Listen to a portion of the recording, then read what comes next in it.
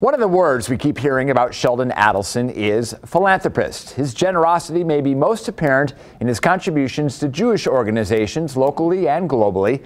One of those programs is called Birthright Israel that has to date sent over 750,000 young Jewish adults from around the world on a trip to Israel to learn about its history and culture.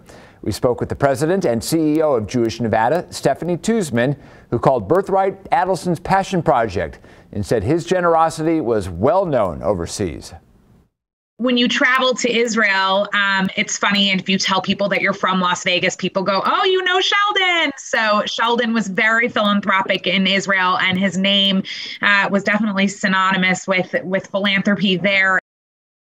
Tuzman went on to say, on a local level, she doesn't think there's an organization in our community that can say they have not been touched by the Adelsons in some way.